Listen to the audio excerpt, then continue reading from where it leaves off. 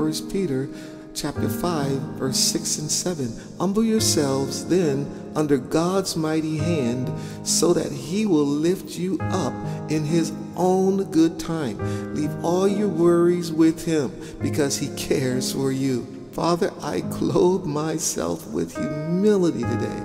I am your servant. I renounce pride and arrogance. Father, you give grace to the humble.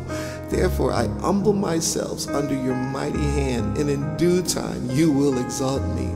In the name of Jesus, I cast the whole of my care, all my anxieties, worries, and concerns for my future once and for all on you. You care for me affectionately, and you care about me watchfully. I expect a life of victory today.